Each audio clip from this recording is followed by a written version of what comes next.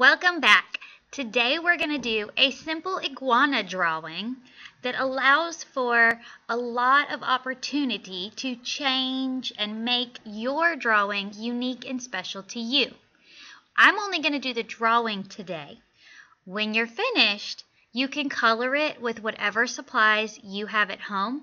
I've done these iguanas in class with everything from crayons to colored pencils to watercolor to oil pastels. We've even done them with chalk. They're really fun and are so bright and colorful when they're all finished. You're going to need a piece of paper and a pencil or something to draw with. Though pencil is the best choice because there might be a lot of erasing. We're going to start with the branch that the iguana is sitting on. So you want to start by just very lightly drawing two lines across. Now remember, it's a branch. Branches are not really very straight. So make it kind of wobbly. Don't make it super neat. Now you'll notice I drew that really, really light. It might even be a little hard to see. I might need to adjust, there we go, my camera a little. I drew it really light because I know I'm going to be erasing part of it later.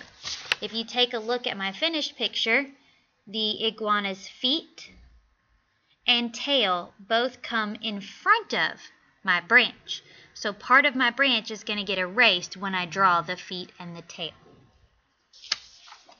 And if I draw lightly, it'll be easier for me to erase. Now we're going to make the body very simple to start. We're going to start with just an arrow for the head. And then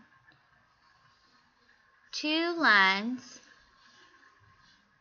nice and light, for the body. Take the top line and wrap it down to make the tail. Then follow with the other part. Now here's our first two lines we need to erase. So go ahead and erase those two little bits of your branch that are going through your tail because as cool as it would be, we are not drawing an invisible iguana. Or a transparent one. If it was transparent, we'd probably still see its bones and things, so we still wouldn't see the branch all the way like that. Okay, next we can put the feet where they're going to go. Just one curve here, and you want to make sure it goes into the body and the branch. Then erase those little extra lines.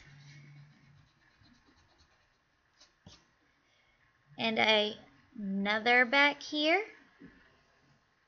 Erase those extra little lines.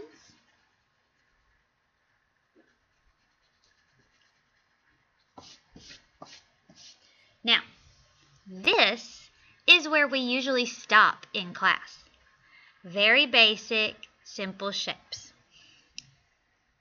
Next is the part where you get to decide what the rest looks like. I'm going to go ahead and add my back legs just by drawing some lines there. Then I'm going to think about my shape. What parts of it I like, what parts of it I don't like. And I'm going to adjust it. I think that I want this iguana to be a little bigger. He looks kind of skinny, kind of scrawny. I want to puff him up a little bit. I'm going to make him a little round right here. And you'll notice I left my original line.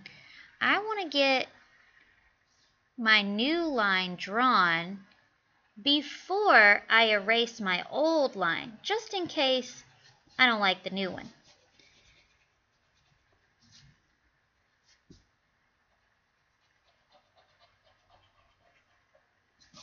Okay, I'm much, I like that bottom a lot better, but I think I need to do some changes up here too. I kind of like how this comes up and then slants, but I'm going to make it go a little higher and kind of flatten and then come back up again. Just changing his shape just a little to make him a little more interesting.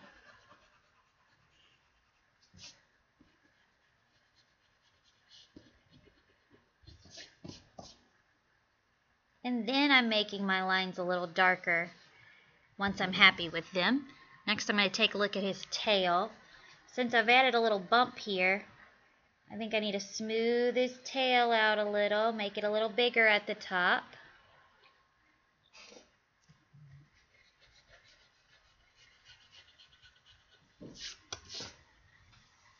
Like that. Now, I think I'm going to leave the end like this. I kind of like that he's kind of big, but has this cinched off tail. Kind of makes me think about the lizards whose tails come off and regrow again so that predators can't catch them. Now I've got to decide what I'm going to do with these feet. Iguanas have light, slightly larger back feet, so I'm going to add a little bit of a foot shape here. And then add some claws to the front so that you could be gripping that. Now I can decorate. I'm going to give him a little mouth and a little hole for where his nose would be. You can make whatever kind of eye you want. Some iguanas have these like domed eyes that kind of bug out a little bit. You could do an eye like that. I like to keep mine kind of simple and cartoony. So I'm just going to draw a circle with another one inside, and I'll color it in later. I don't need to color it with my pencil. Maybe he's got a pattern on his belly that's a little different.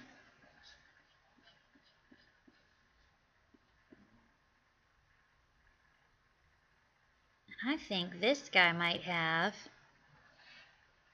some spikes. All the way down.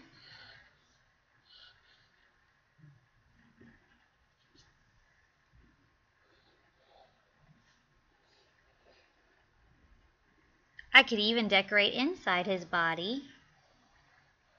Maybe he's got some wiggly stripes. They kind of replicate his spikes.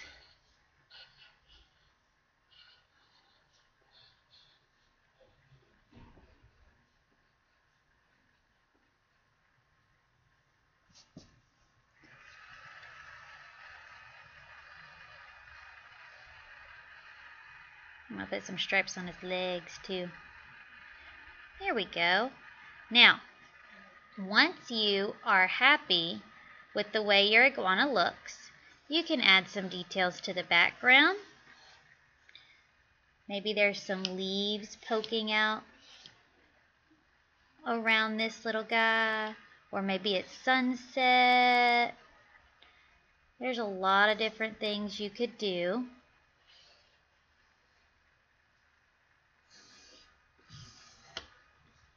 to fill it in and make it interesting.